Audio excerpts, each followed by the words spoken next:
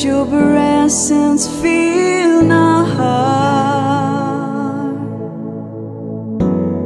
Let your vessel long for unto you, a sacrifice of praise.